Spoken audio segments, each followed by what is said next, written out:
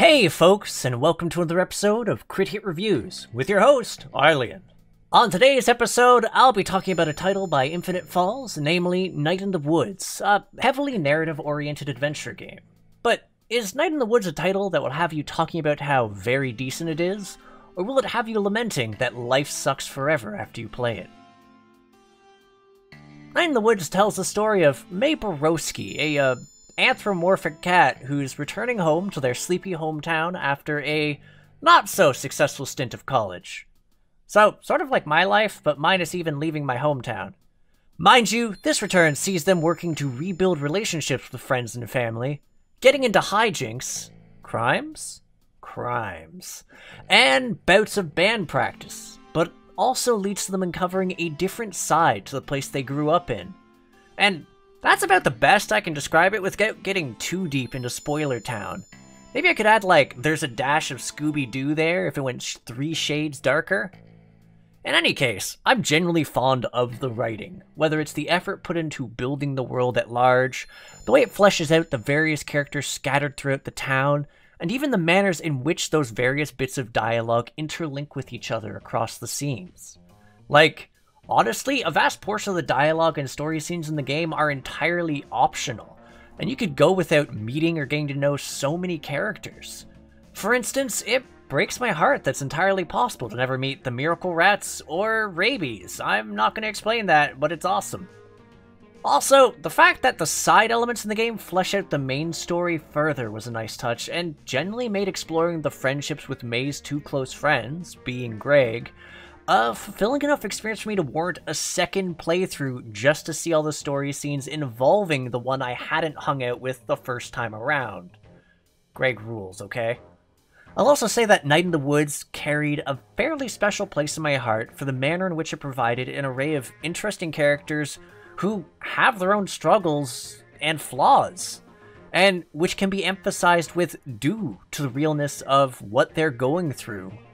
It's not often I see a game which tackles things like mental illness in the way that this game does, or how isolating being queer can be and the struggles that people go through. By and large, Night in the Woods does play out fairly simply, as the meat of the game boils down to experiencing the story and talking to the various characters around the town. It's very much driven by its narrative, of which, as I mentioned, the story section is mostly optional.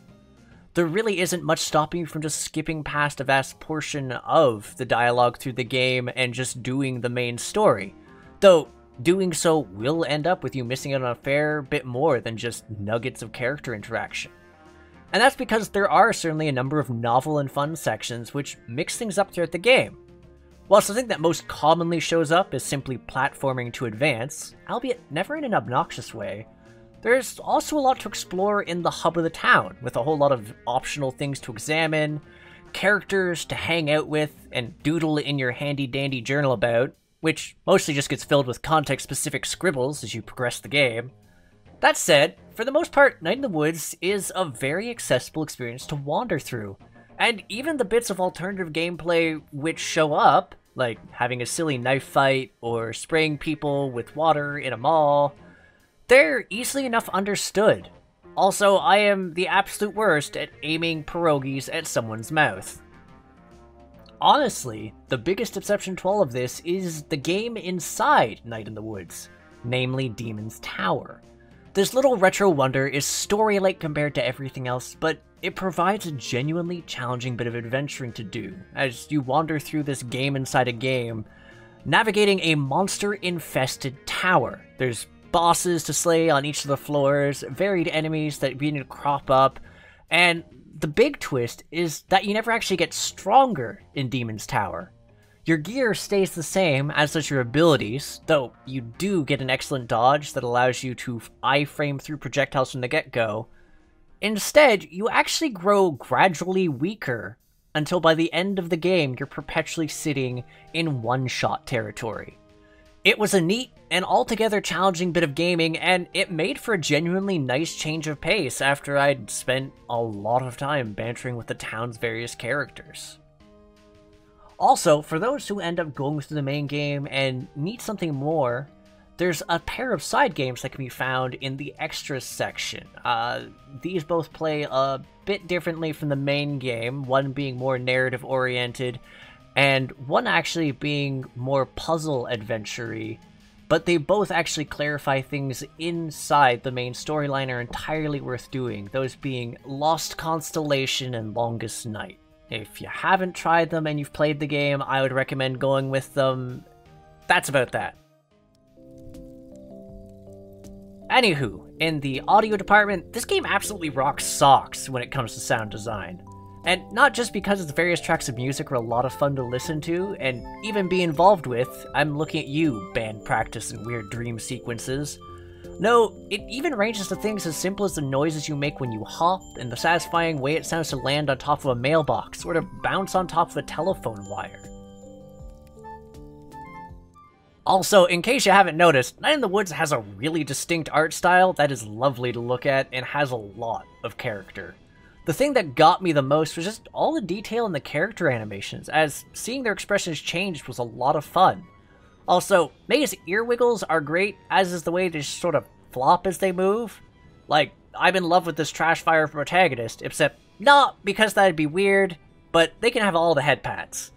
Also, given just how different Demon's Tower is, I'll give it an honorable mention here as being pretty endearing in its appearance, as it managed to pay homage to old school Zelda games, but has some very lovely bit of animating going behind it. Overall, I adored Night in the Woods for so many reasons, and I do admit a part of it is that I could with the protagonist, flawed as they are. Mae is not a perfect person, and the game readily admits it, but it shows the dichotomy of their imperfections, their self-loathing and awkwardness, along with their genuine attempts at helping people despite it, at trying to rekindle and get close to people, at dealing and learning to adult. It might not necessarily be the most heroic of journeys, mostly, but it's realer than most, and that really hit home. But even beyond that, the game was just so good. The dialogue had me laughing out loud so many times and just thinking of and missing my friends. The various scenarios and the way the games mixed things up was a lot of fun, and it managed to pace things out so I was always enwrapped with it. And I love, love, loved exploring the world and finding all the people to talk to and learning the stories in the town, even if so many and in an all too familiar sense of sadness. There was a lot of magic there, and even when the game got grimmer, I found myself wanting to see and know more until I finally reached the end. Which, again, made me feel incredibly grateful that in the extra section of the game, there was that pair of small mini games which added onto the narrative. And you know, just chilling and playing Demon Tower was great. So, I mean, what I'm saying is Night in the Woods is a crit hit. Narratively, it just knocks it out of the park for me. And if you haven't given it a poke, I genuinely recommend it with all my heart. Anyways, that's a wrap, so I'd like to thank you folks for both tuning in and sticking till the end. Whether you agree or disagree with my thoughts, I'd love to hear from you folks in the comments, and for those interested in more indie reviews or interviews with developers, feel free to hit the subscribe button and the bell icon so you get notified when we have a new release. There's also our Ko-fi if you'd like to support us making new videos, and lastly, if you'd like to join our community, there is a handy dandy button to our Discord, both in the description and in the banner. So you can tag along for the ride. It's cozy there, I swear. Anywho, I'll catch you folks on the next episode of Crit Hit.